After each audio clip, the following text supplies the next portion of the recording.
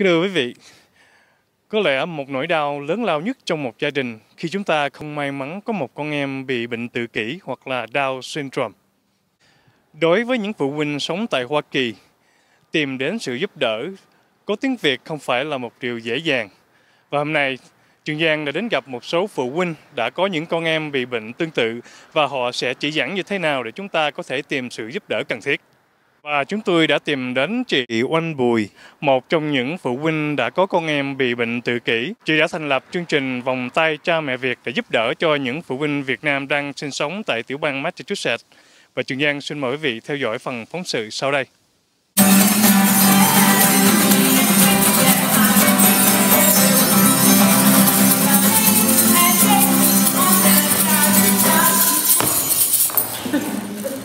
Theo em biết á, à, à, trong cộng đồng người Việt mình á, có rất nhiều phụ huynh.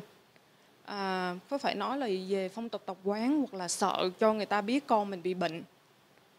À, sợ mất mặt hay là sợ người ta chê cười? Dùng hai từ là chê cười là chính xác. Mà thôi em nghĩ thì cái đó không đúng. Tại vì con mình đã bị bệnh rồi là mình phải biết cách để hỗ trợ cho cháu và cũng như hỗ trợ cho những đứa đứa nhỏ khác những gia đình khác mà đang lâm vào cái hoàn cảnh giống như là không biết đi đâu và tìm đâu để giúp hỗ trợ con mình. Thế nên mạnh dạn tới tới cộng đồng mà hỏi, tại vì cộng đồng nơi đâu, tiểu bang nào cũng có hết. Chúng ta phải lên tiếng và hỏi, thì người này biết sẽ hỗ trợ cho người kia người kia biết sẽ hỗ trợ cho người khác. Cảm giác bị chê cười dị nghị là nỗi lo lắng của nhiều cha mẹ Việt có con em bị khuyết tật và tự kỷ. Đây cũng là một trong những lý do tại sao nhóm vòng tay cha mẹ Việt được hình thành để hỗ trợ tinh thần, chia sẻ thông tin và nâng cao sự hiểu biết của các bậc phụ huynh gốc Việt.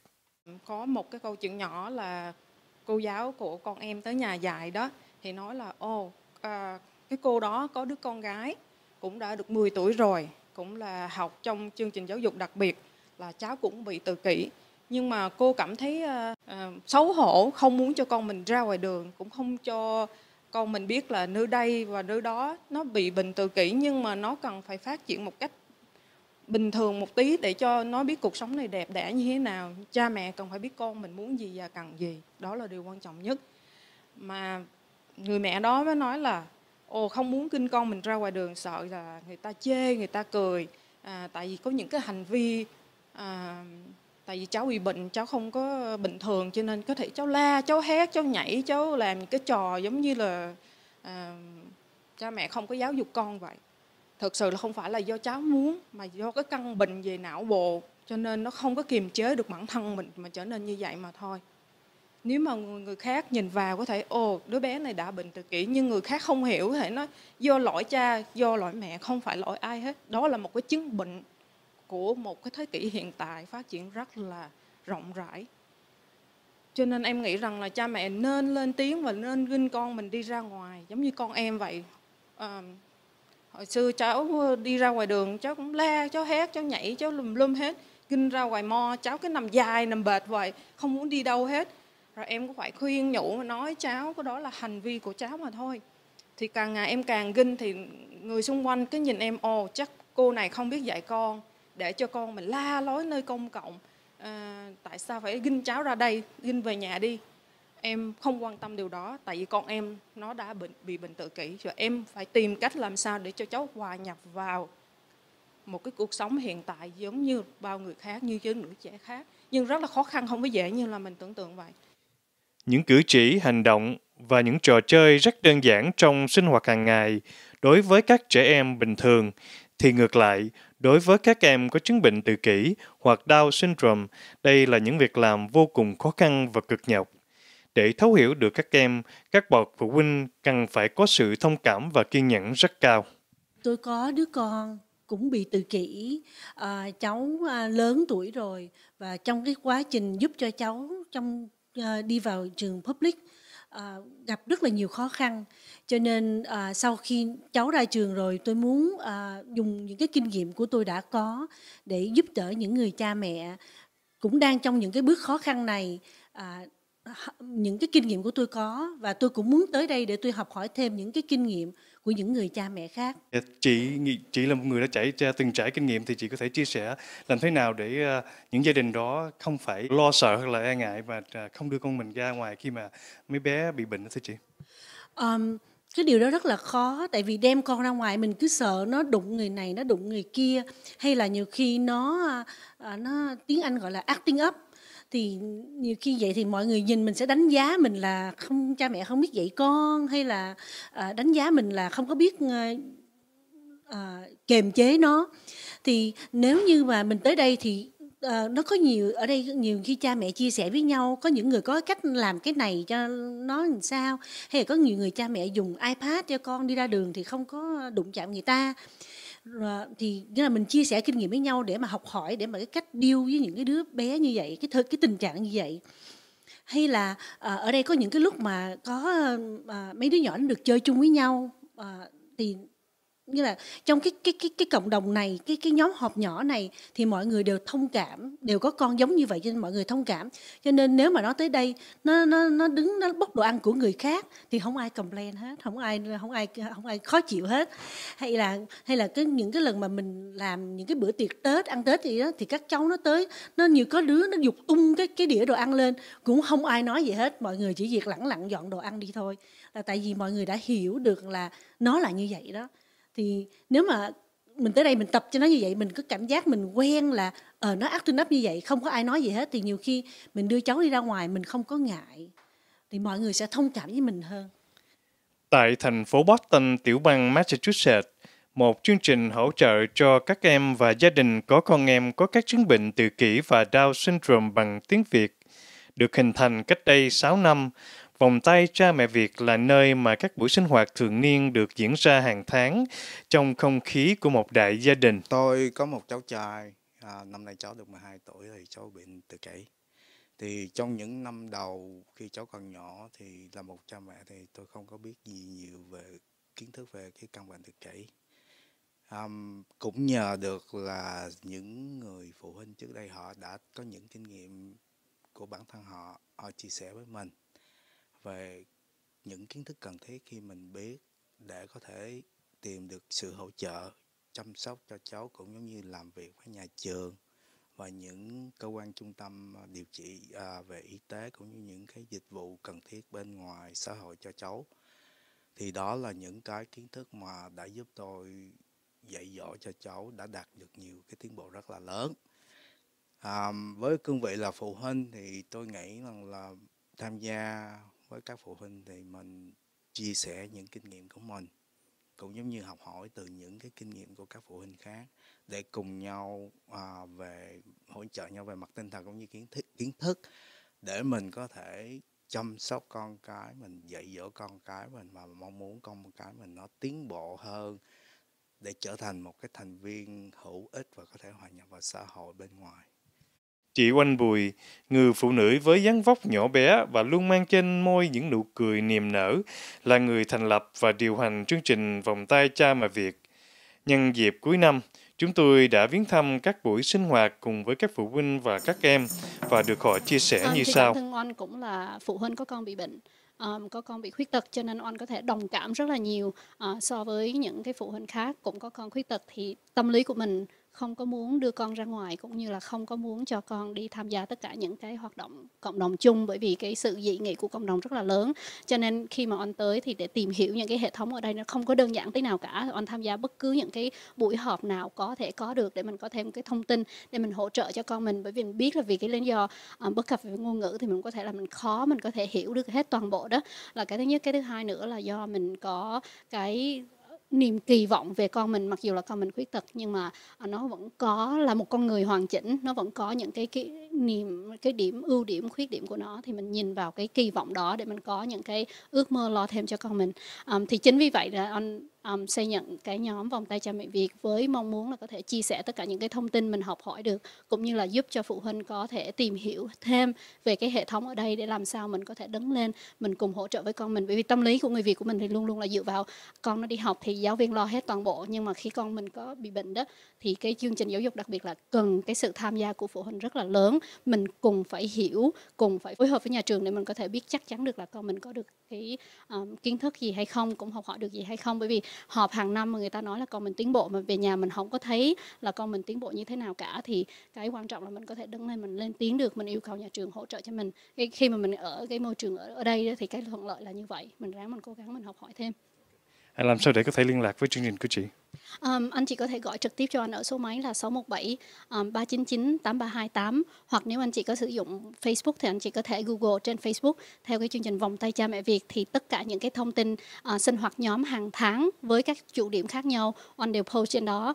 Uh, cũng như là tất cả những cái tài liệu mà anh chia sẻ ở các họp nhóm như thế này nè thì anh cũng có post ở trên cái uh, trang Facebook vòng tay cha mẹ Việt thì uh, phụ huynh có thể download xuống để có thể có thêm thông tin rồi cứ mạnh dạn gọi điện cho anh hoặc là email cho anh cũng được um, để có thêm thông tin thì địa chỉ email của anh là obui at fcsn.org chị có giới hạn uh, khu vực hay là vùng miền để uh, cha mẹ có thể đưa con em mình tới đây để tham gia không?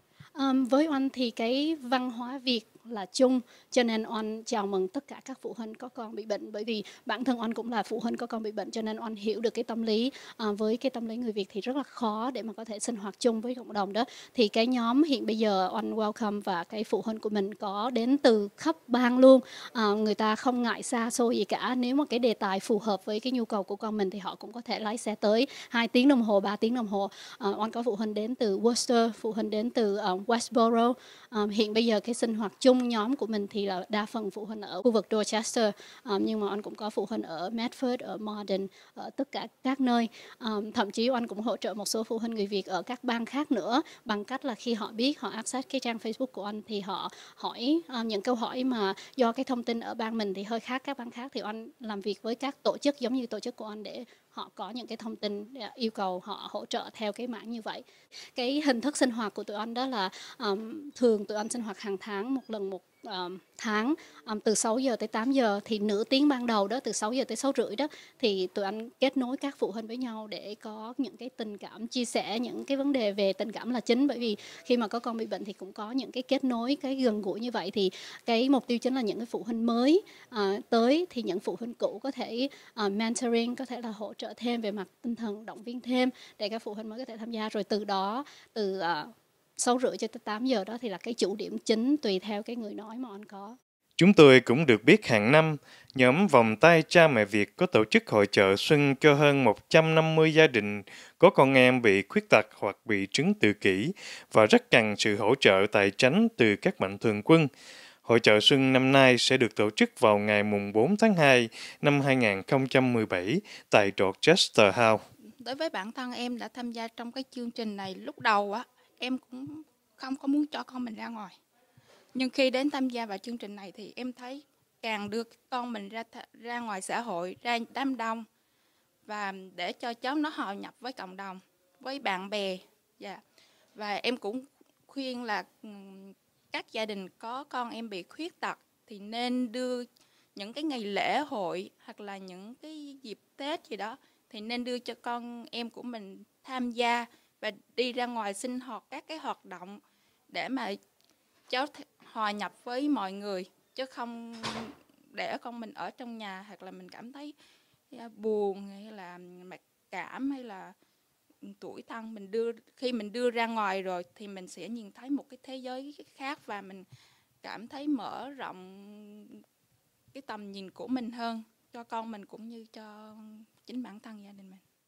Chương trình Vòng tay cha mẹ Việt được mở rộng và sinh hoạt thường niên là nhờ vào sự đóng góp và hỗ trợ từ các anh chị thiện nguyện viên và các sinh viên đến từ các cơ quan phục vụ xã hội và các trường đại học trong vùng, cũng như các chuyên gia chuyên về các chứng bệnh khuyết tật và tự kỷ.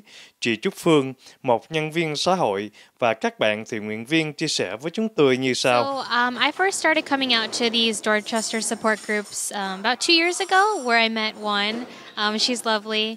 Um, I first came out because I was very interested in working with children with special needs because I'm studying occupational therapy in college right now at uh, Boston University. Um, so it's kind of a way for me to like, learn more about what it's like with um, working with children with special needs.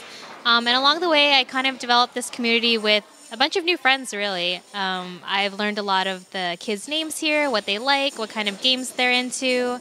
Um, you know, just I got to meet a whole new world of people, really, and they've really become my friends. And it's even more special because I only get to see them once a month, so it's not like the friends that I see every day in classes um, at college. It's it's a very very special group to me, and I get to learn more about them through the variety of people there are in the world. I think a lot of times it's hard for students in college to get off campus and really see, you know, what are the communities that you're surrounded by here, um, bes- besides your little college bubble. You know, get outside and see um, all the beautiful people there are out there, and that's really what this has been for me. And I'm hoping that um, I'm not only helping the children, but that they feel that they're contributing to to my life as well. So I've been really loving it so far.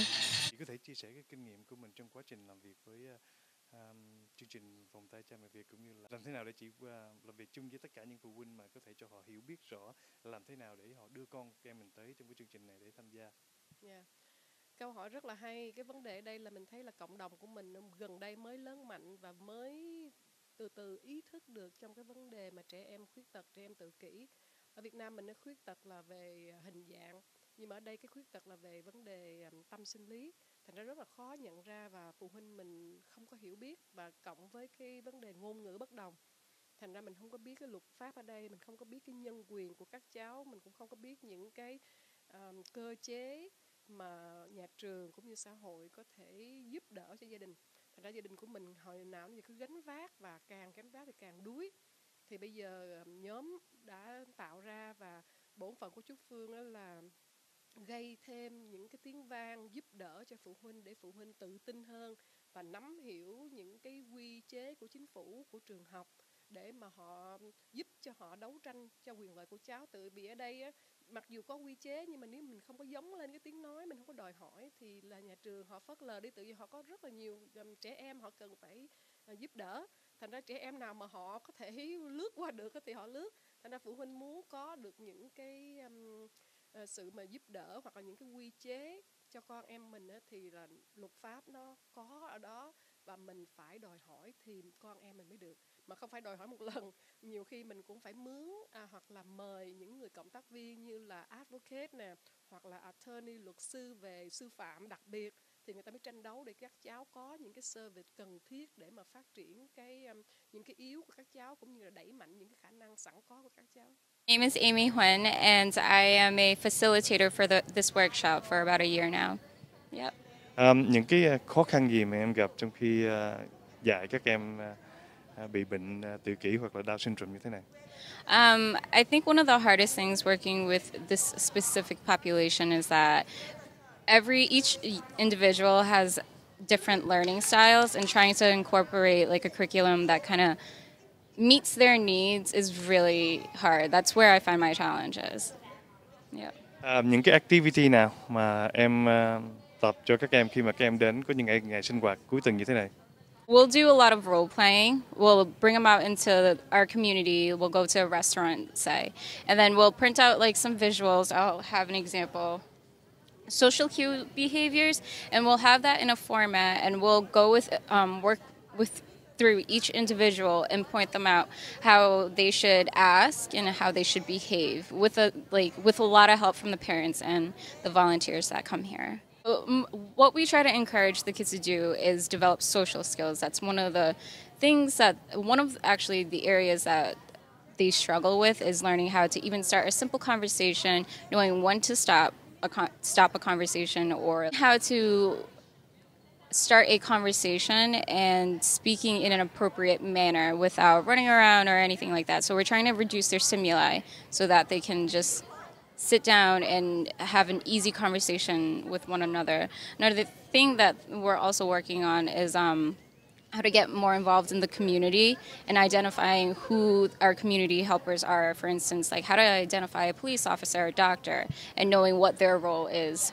um, and what um, role that they have on the children here. Okay, so for example, like when taking the kids out to um, Burger King right across the street. So what I try to do, we let the um, owners know like the type, what um, the group that we have coming in, and that sometimes they have to be a little bit more patient to allow the kids to kind of ask the question, and we try to encourage them as as much of a slower process that it may be. We try to encourage the kids to kind of break out of that shell and at least point or say some word just because we're really trying to promote like independency from pa- their parents